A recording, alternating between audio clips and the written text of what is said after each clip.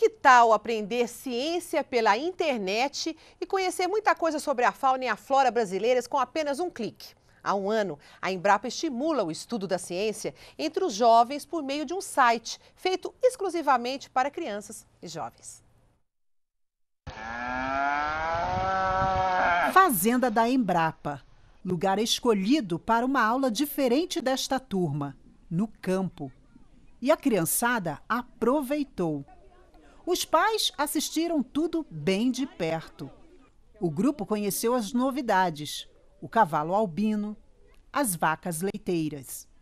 E depois, o motivo da aula: ouvir sobre biotecnologia. No caso aqui, reprodução animal. Uma célula da fêmea ela vai se encontrar com uma célula do macho. No encontro dessas células ocorre a fecundação. Tá? O encontro dessas células é a fecundação. Com a fecundação vai gerar o ovo ou o embrião. Esse embrião então vai se desenvolver dentro da barriga da mãe até gerar um novo filhote. Depois teve visitação à criação de porcos e uma aula demonstrativa sobre plantação de café. A curiosidade foi grande. Através das raízes que as plantinhas do café são nutridas. Então aqui dentro, além de água, nós temos nutrientes. E teve criança que preferiu admirar o fruto do café. A gente tira a casca sementinha e depois a gente esquenta ela no forno, depois moe ela e depois ir o café. A segunda parte do passeio foi em sala de aula. Os pequenos ouviram histórias, enquanto os jovens participaram de um concurso de desenho. Tudo que as crianças viram e ouviram nas aulas de ciências no campo está na internet, no site Infanto Juvenil Contando Ciência na Web.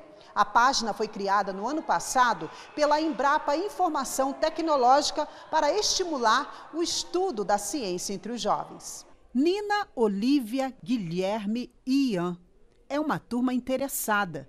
Eles ajudaram a criar a página da Embrapa, dando sugestões e modificando. Hoje o site está bem melhor. Está mais fácil de compreender tudo. E ele ajuda também em, várias, em pesquisas. A página do Contando Ciência na web completou um ano e já foi visitada por mais de 10 mil pessoas. Levar os jovens para um passeio no mundo real e virtual foi a maneira encontrada pela Embrapa para comemorar. Em todo o país, 45 unidades da Embrapa fizeram a mesma atividade o site ele veio para ficar, ele veio para ajudar as escolas no ensino de ciência e tecnologia. A gente quer que as escolas utilizem o site como fonte de pesquisa permanente, porque o site está rico em conteúdo científico e tecnológico em todas as áreas.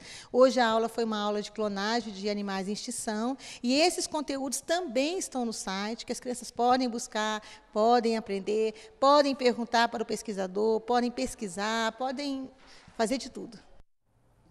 Para aprender um pouco mais de ciências e saber algumas curiosidades, é só acessar o site da Embrapa.